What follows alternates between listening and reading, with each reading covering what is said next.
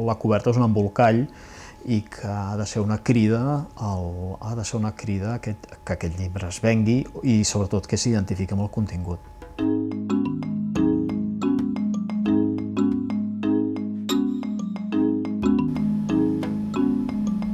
En el meu cas m'interessava molt fer això perquè considero que és un espai de, de llibertat dins el disseny que és molt interessant i tot i que no és una feina gaire ben pagada, és una cosa que té molt de ressò i on hi cap molta narrativa, i pot cabre molta narrativa visual.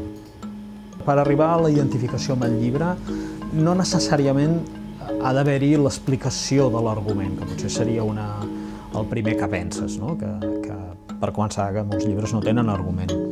Alguns doncs, són, no fic, són, coses, són assajos o, o llibres de no ficció.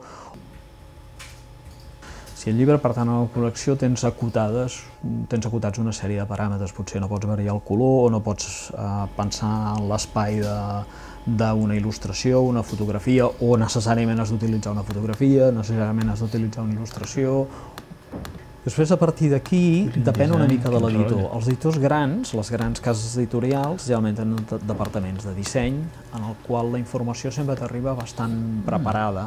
En les editorials petites, en realitat parles amb l'editor. En, en part també té els seus avantatges, perquè entens molt bé què, què vol fer amb aquell llibre.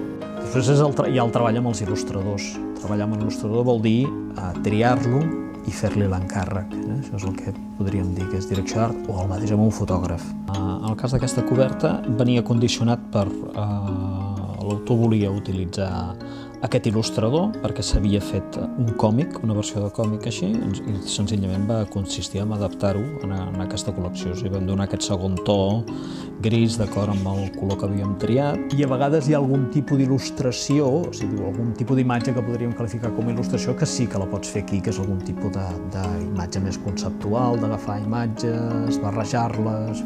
Això, el títol ho diu bastant, era d'una meva província, Anglaterra, anys 50, llavors vam buscar un figurí de l'època, també per, per aquesta cosa d'una persona que es preocupa molt del seu vestir, de la casa, una cosa molt, molt femenina i també el color ajuda. Penso que en el cas del llibre de l'asteroide, l'editor Luis Solano té molt clar la mena de llibre que vol fer, amb ell decidim ja bastant el to, o sigui, millor doncs, aprofitar un cartell de turisme de, de principis de segle, per exemple. És una foto d'ambient de, de Nova York, d'un prestamista jueu, però no hi ha res ni de jueus ni, ni res de prestamista, senzillament això et dona el to de l'època en què està passant, llavors com a foto és molt, és molt, és molt suggerent. Jo crec que en el cas del llibre pot més això, pot més el, el text de la solapa, el text del darrere, una faixa, evidentment una crítica, el, que, el que, el que t'hagin dit els altres, tot aquest, el que digui el llibre, totes aquestes coses tenen més importància que la coberta.